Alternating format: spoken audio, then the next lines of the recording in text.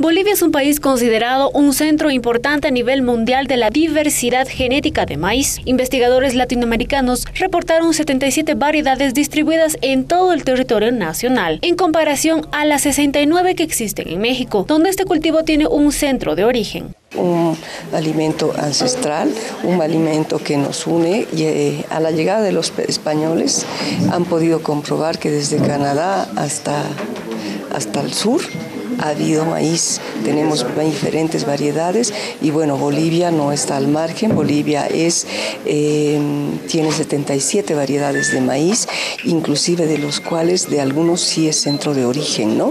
El Ministerio de Medio Ambiente y Agua, conjuntamente el Movimiento de Integración Gastronómico Boliviano MIGA, lanza la feria Taller de la Diversidad Biocultural, Maíz y Vivir Bien, que se realizará el mes de abril con el propósito de revalorizar este cultivo tan importante en la dinámica biocultural y nacional. Esto en conmemoración al Día Internacional de la Madre Tierra que se celebra cada 22 de abril. Come maíz es fuerte, por eso los, los que son de valle son gente más fuerte. Bueno, es, eh, tiene muchos nutrientes, es un grano muy, muy eh, con mucha facilidad, yo como gastrónoma le puedo decir que se puede emplear en diferentes productos. La feria incluye también una agenda cultural con actividades musicales, talleres, recopilación de tradiciones, narración de cuentos relacionados con la riqueza del maíz, exposición gastronómica, entre otros, además de artesanía. La feria se va a realizar en la ex estación, en el Teleférico Rojo,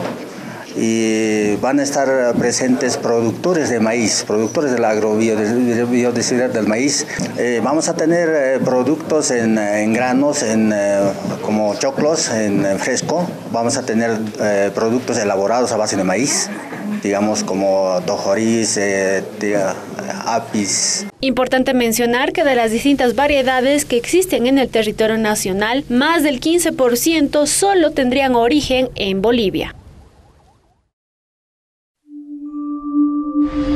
Thank you.